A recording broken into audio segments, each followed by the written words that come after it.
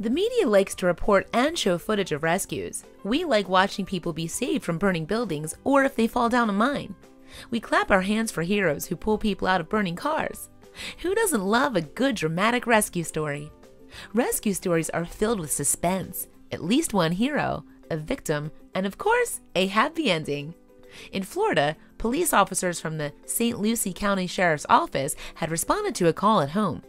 As they were getting ready to leave, they heard a faint whispering sound coming from a nearby empty lot. On the sheriff's office Facebook page, they relayed the story. The officers searched the empty lot and found a soaking wet puppy in a septic drain. The pup was unable to climb out, but the officers easily pulled the exhausted and very scared puppy out. The officers tried to locate the dog's owners after giving him more than one bath to get rid of the smell.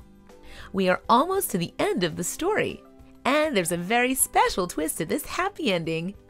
After being unable to find the puppy's owner, Officer James Gettings decided that he and this puppy were meant to be together, so he adopted him.